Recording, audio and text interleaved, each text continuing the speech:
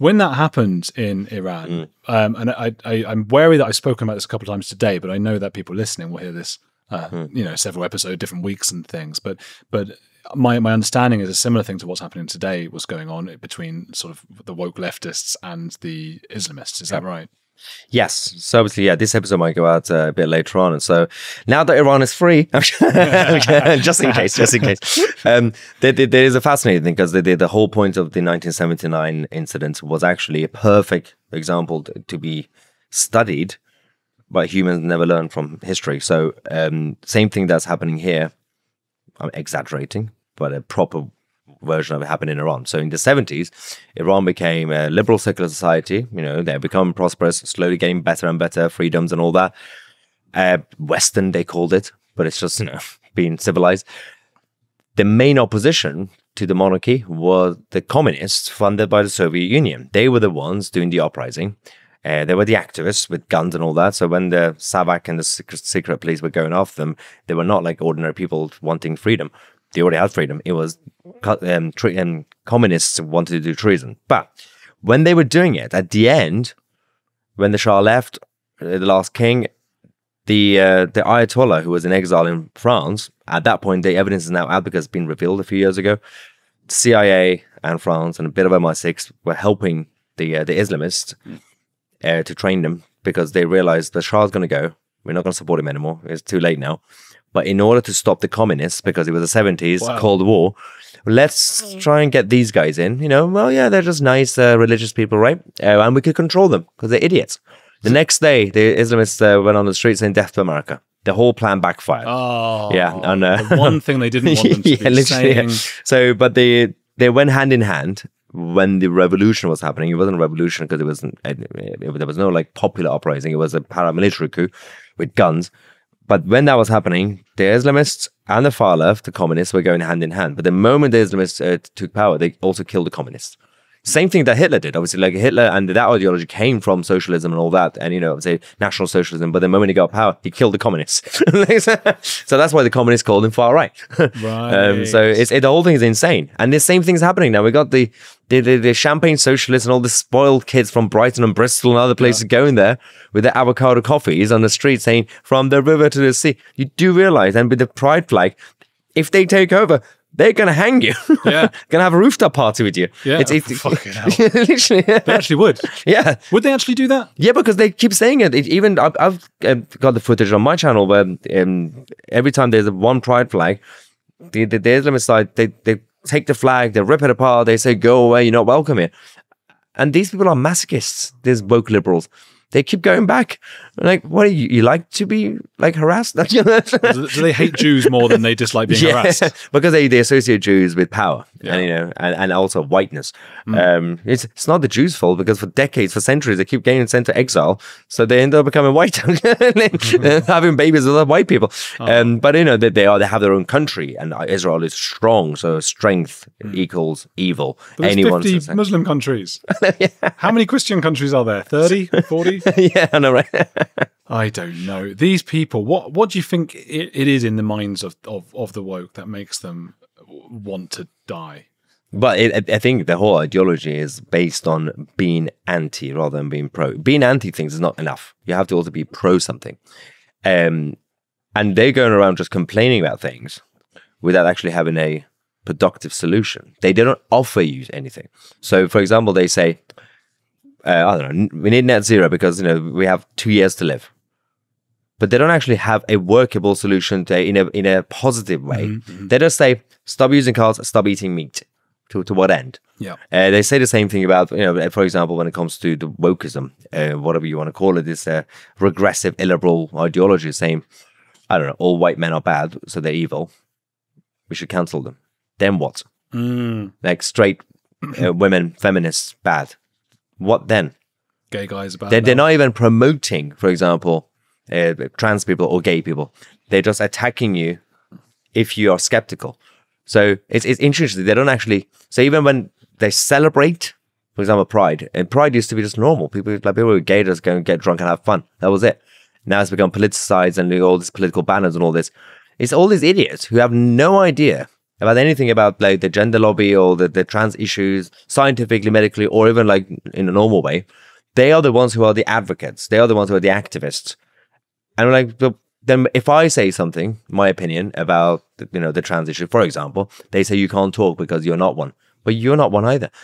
like even the trans community, they have a silent majority. A lot of them don't want to be associated Yeah. with this, the, the militant ones. Like, hey, I feel like this for whatever reason. Just leave me alone. I'm gonna stay at home, do whatever I want to do.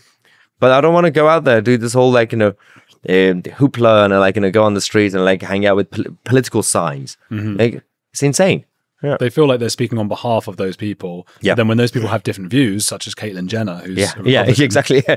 yeah, but that's why I've had it on my channel so many times. I've been uh, they attempt to cancel me, but I'm uncancelable because I've cancelled Caitlyn on your channel? No, no, I no. thought- I thought you these, said- oh. these incidents happen, but every time they try to cancel me, is uh, I realize somebody gets offended on behalf of someone else in a different continent from a different century. It's it's fascinating. Why are you offended what happened with the slave trade in Nigeria 200 years ago? When slave trade was happening everywhere, and also they were the ones selling the slaves.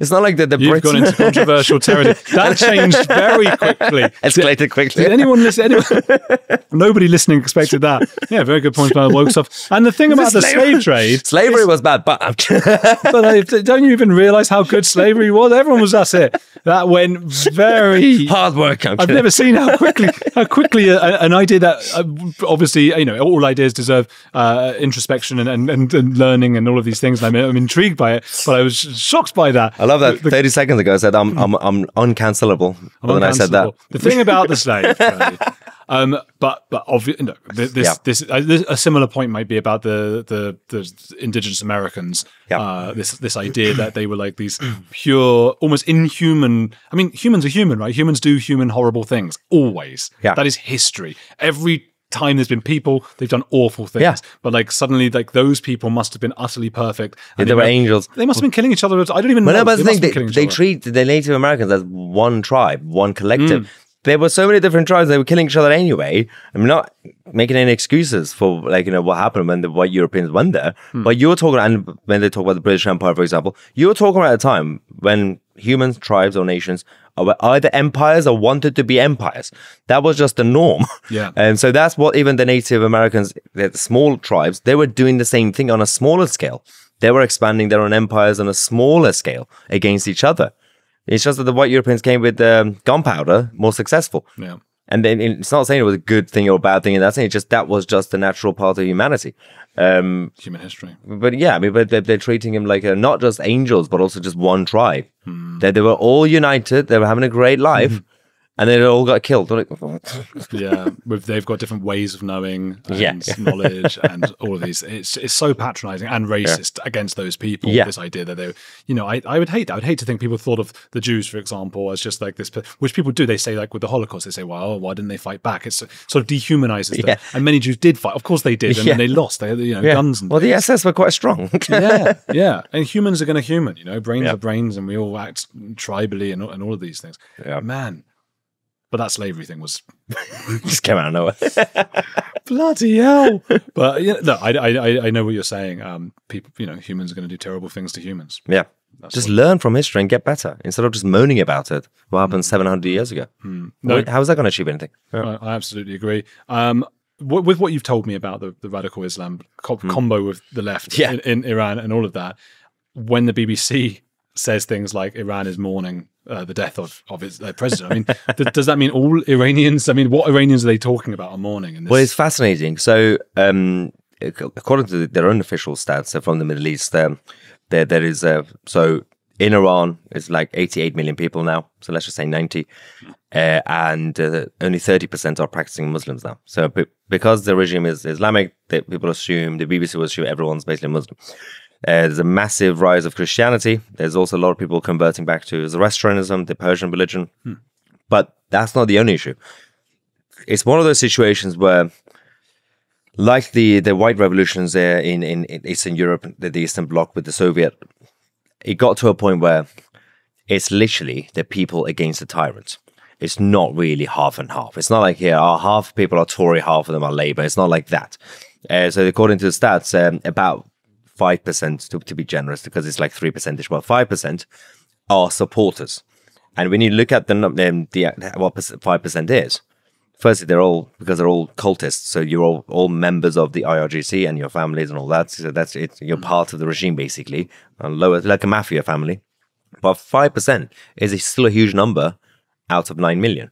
So when you get uh, one million, two people, two million people coming out on the street for funeral, firstly that's not even all the supporters. You would assume they all should, should come out, right? Yeah. So that's that's the small like half of it or whatever.